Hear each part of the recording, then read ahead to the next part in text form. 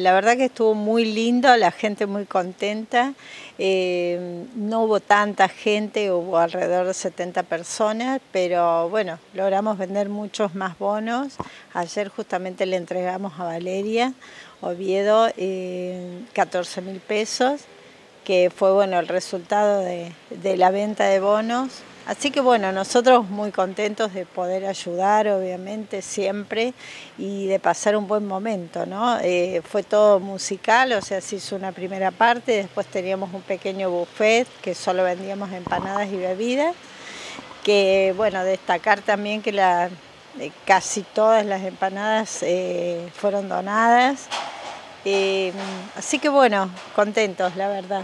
¿Los artistas también colaboraron de forma gratuita? Sí, Susana Martí, que siempre nos acompaña, eh, Marlene Zafón, eh, con su trío, o sea que eran varias personas que, estaban, que la acompañaban. Después tuvimos dos dúos, que uno era de Córdoba y el otro, bueno, son músicos también de la región.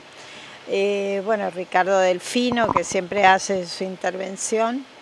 Y mm, bueno, así que fue, la verdad que fue un lindo momento, eh, la gente la pasó muy bien. Y bueno, más que nada sabiendo ¿no? que tanto la Asociación Italiana, que siempre a través de Ricardo nos acerca esta posibilidad de, colaborar con alguien. La red también eh, pudo reunir algunos fondos a través del buffet. Sí, tuvimos el buffet ahí que como te decía vendimos empanadas y bebidas. Todavía no tenemos mucho resultado porque todavía hay que pagar algo, pero sí, eh, tranquilo, pero, pero bien, siempre ayuda, ¿no? Siempre suma. ¿Ya están eh, en agenda las cenas solidarias? Sí, el abril va a ser la primera cena solidaria en Kerkus, que ya también es, es, digamos como un clásico. La primera es en Kerkus, la última en el Ciervo Rojo.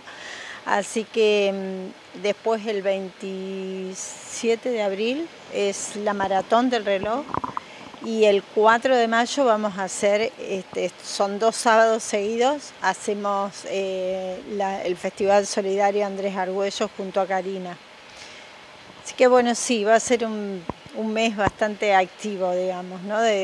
Si bien en la maratón nosotros no, no, trabajamos mucho, porque lo hace todo Prado Eventos junto con Roberto Bazán, pero bueno, siempre estamos, obviamente, siempre hay cosas para hacer, ¿no?